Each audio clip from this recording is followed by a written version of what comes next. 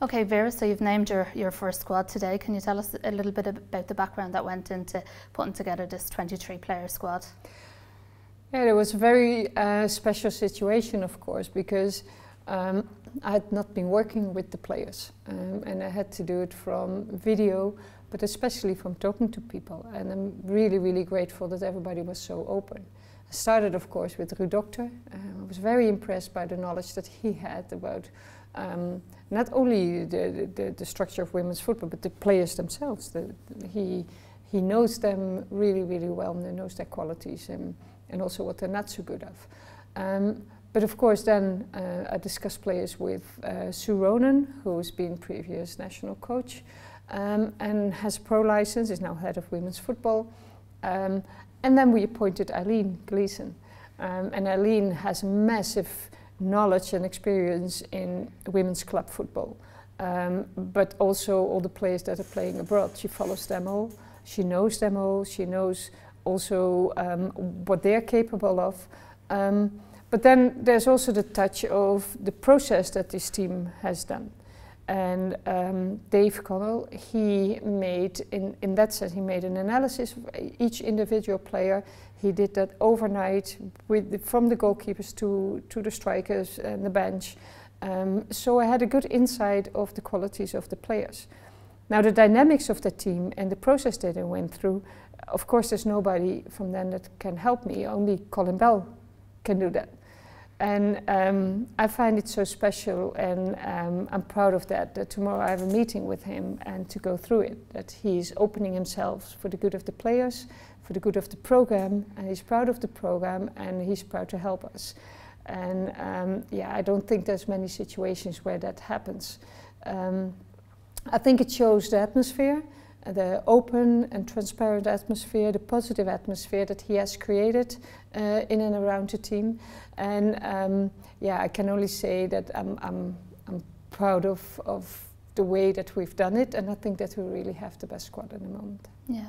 So with me, meeting Colin tomorrow, um, are you looking, there's obviously been a lot of development in the squad in the last couple of years. Are you looking to just kind of move on from, from where they left off there? Yeah, exactly. Um, I'm not a coach who thinks that, that I have invented the game or something. I'm, I'm going on where the previous coach has stopped. Um, so I'm going to st step on Colin's shoulders and, and, and build from there and hopefully to get uh, the success that he started. Um, and if we qualify now, it's credit to him because that foundation is there and, and it's, it's a top that we need to, to grow from now. Um, so it, it is, it, it's, we will see where the players are when they come in, but I've got the feeling that I know them already. I've got the feeling that people have, have really um, stepped into a positive atmosphere to help me and um, that I know what they're capable of, uh, which is very unique, of course.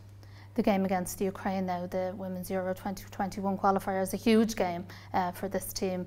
Um, we're looking to, to make history in Tallaght Stadium and to have the biggest ever crowds there. I assume that'll be a huge help to yourself and the squad if that happens. Yeah, um, the crowd will be our 12th player, they said, eh? uh, but it, it's really true. The moment that you have a difficult spell in the game, the crowd can push you through. And I hope that all the girls that are playing football, that they come with the, the with their brothers, sisters, parents, clubs, uh, coaches, that everybody is coming, and maybe whole teams are coming, because that is what we really, really need. And if you want to succeed, if you want to have your future, uh, come to uh, and come to see us and, and come to support us. Um, because it will not be an easy game. It will be a very difficult game. Ukraine is ranked 12 positions higher than us, very dangerous in the counterattack, very solid in their structures. Um, and we, yeah, we need to put really something special against them. If the crowds are there, if they push us, players will, will do things that they wouldn't know themselves, that they dare to do that. And um, that will make the difference. Irish fans are, are famous the world over. I'm sure you've encountered them before or heard yeah. of them before. Yeah. Um, that would only be a huge boost on the day. So um, I'm, I'm assuming you want, you know, as many Irish football fans in general from the leagues um, and the, yeah. the international teams to co come along to this game. Yeah, and, and, the crowd needs to know that we will do everything to get ready for that game. Um, and the players are with their full mind with, their with that game. It's the, the, crucial game for us in the qualifying uh, uh, period. Um, if we lose, then we have a problem. Um, so the people also need to know that they really need to support us to, to, uh, to get that result. Out of the two games, Ukraine home and away, we need to get a positive result. And a draw and a win is a positive result. So also a draw to, on the 8th of October is good. Um, win is better, of course. But uh, Germany is a step too far. We cannot expect to knock Germany from the first uh, position. They just won 8-0 from Ukraine. So we have to be realistic. They were European champions for eight times. They were world champions two times.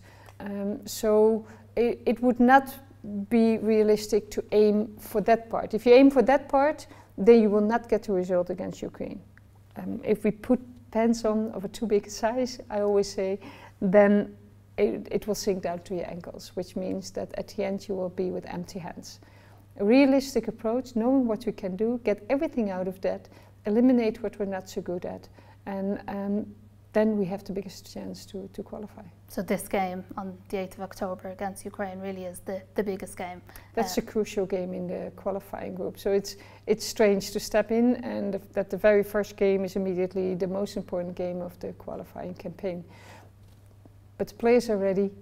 We're not st starting from scratch. Colin Bell has set a fantastic foundation. We're built on that. Uh, you will not see much, many changes, and I will just work on um, getting teamwork at just every time that high level, like he did in the past two years.